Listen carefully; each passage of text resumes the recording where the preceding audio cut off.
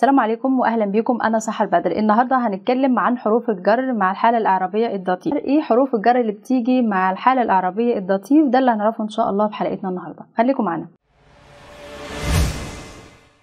حروف الجر ديت هي أب وأوس باي ومت nach وزايت وتسو وإنتجيجن gegenüber وأوسع هنستخدمهم إزاي؟ ده اللي هنعرفه إن شاء الله.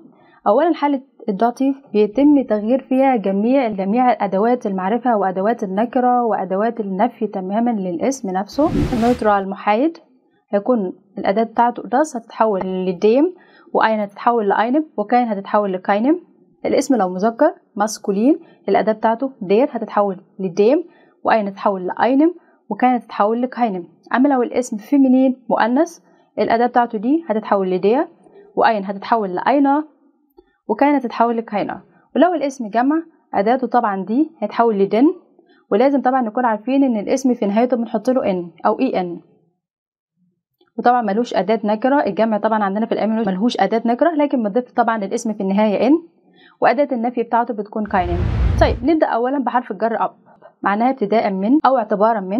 ممكن أستخدمه عندي وما أحطش يعني أدوات للاسم اللي عندي. ممكن أقول ab morgen ابتداء من غد. ممكن أقول ab Januar ابتداء من شهر يناير ab Februar ابتداء من شهر فبراير ab November ابتداء من شهر نوفمبر ab Dezember ابتداء من شهر ديسمبر. ممكن أغير الحالة الإعرابية طبعا للاسم اللي عندي. ممكن أقول ابتداء من الأسبوع القادم ab nächster Woche ab nächster Woche ab nächster Woche يعني ابتداء من الأسبوع القادم ab nächstem Monat ابتداء من الشهر القادم. nächster Woche lerne ich Deutsch. من الأسبوع الجاي هتعلم ألماني. في برضو Synonym للاسم ده يعني مكافئ ليه أو حاجة تكون شبهه في اللغة الألمانية حرفين اللي هو von و an von و an von وأحط الفترة الزمنية وبعدين an أقول von morgen an von Januar an von morgen an von Januar an. اتنين حرف جر aus معناها من. حرف الجر ده بيكون ليه كذا معنى. لما أقول مثلا kommt aus Schweden أو ممكن أقول في بعض البلدان اللي بيكون ليها أداة معرفة بتكون لاحقة بيها زي تركيا وزي اليمن. طبعا بيكون معاها أداة معرفة ولازم الأداة الحالة الإعرابية بتاعتها تتغير لما يدخل على حرف الجر aus هقول مثلا sie kommt aus der Türkei هي من تركيا لأن تركيا أداتها die. kommt aus der Türkei أو die Schweiz اللي هي سويسرا. kommt aus der Schweiz. kommt aus der Schweiz. يمن أداة الأداة بتاعتها der هقول kommt aus dem Jemen. kommt aus dem Jemen. عاوز أقول مثلا الساعة كام إيمان بتيجي من المدرسة. um wie viel Uhr kommt إيمان aus der Schule um wie viel Uhr kommt إيمان aus der Schule Schule ده اسمه مؤنث. فبالتالي الحالة الإعرابية بتاعته تتحول تكون aus der aus der Schule طيب عاوز أقول ده أصله من أو جذور من. das stammt aus عاوز أقول مثلا ده بيعود تاريخه للقرن ال 12 هقول إزاي das stammt aus dem 12. Jahrhundert Jahrhundert das هقول aus dem 12. Jahrhundert.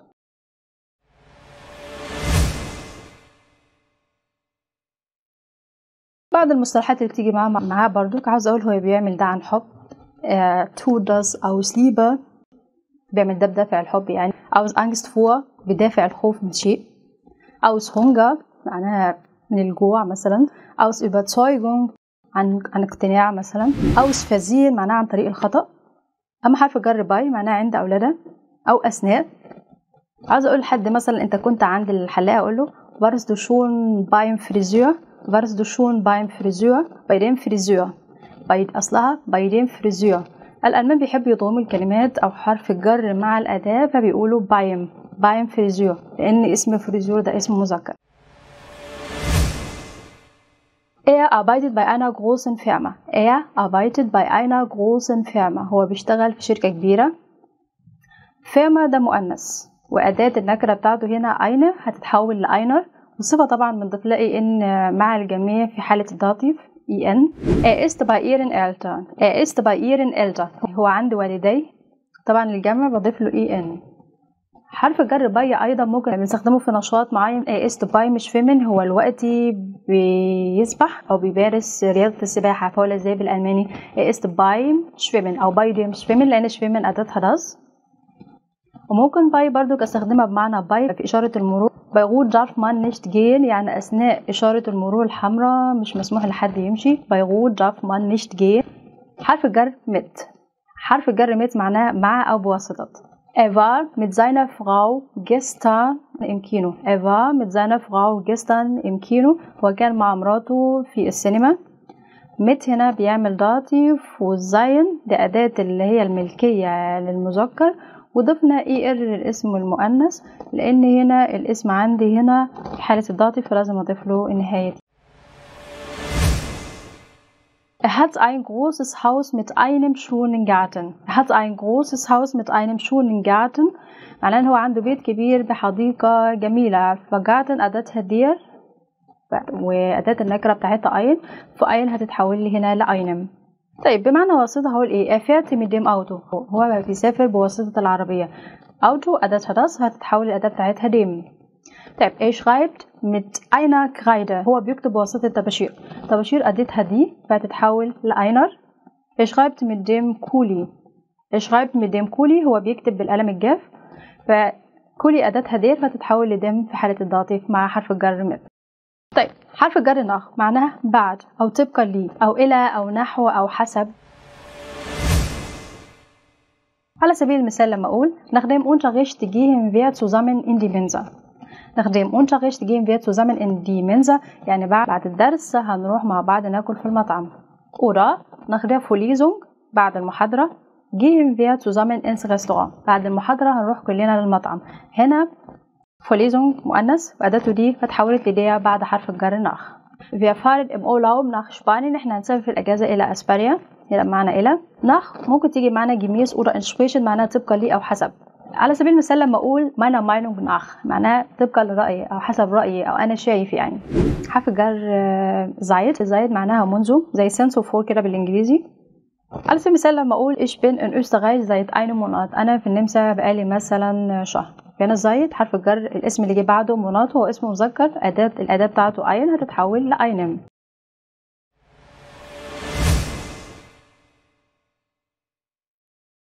seit einer Woche منذ أسبوع. هتبقى Woche ده مؤنث؟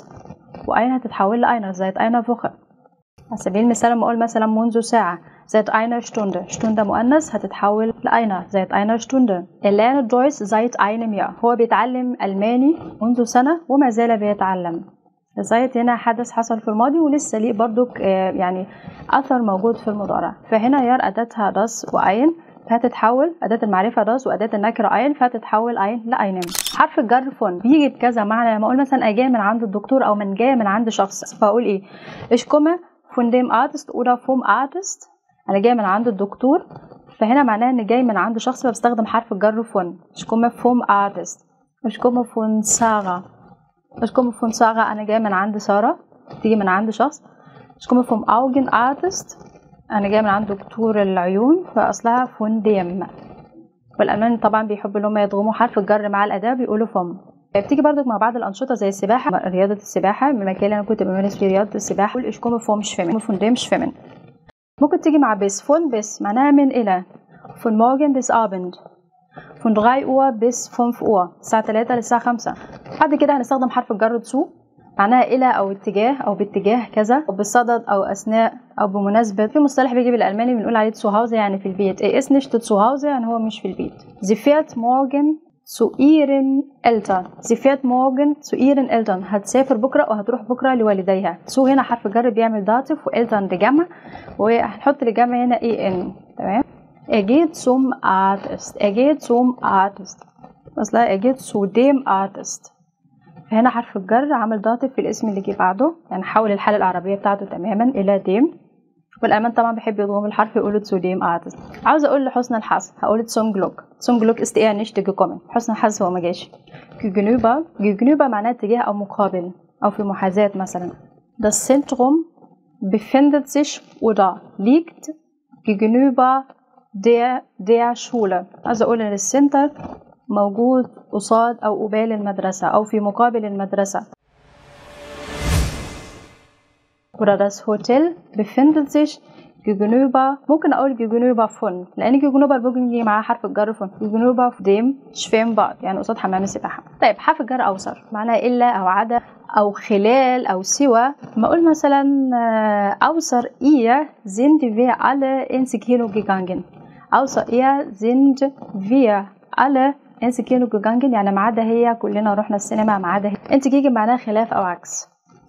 أو على النقيض من زي against كده باللغة الإنجليزية. Das war entgegen meinem Vorschlag يعني ده كان عكس الاقتراح بتاعي. Das war entgegen meinem Vorschlag er verhält sich entgegen allen Erwartungen. Er verhält sich entgegen allen Erwartungen. يعني هو بيتصرف عكس كل التوقعات. وبكده نكون أنهينا حلقتنا النهاردة. أتمنى يا رب أكون أفدتكم. أشوفكم على خير إن شاء الله في حلقة جديدة. السلام عليكم.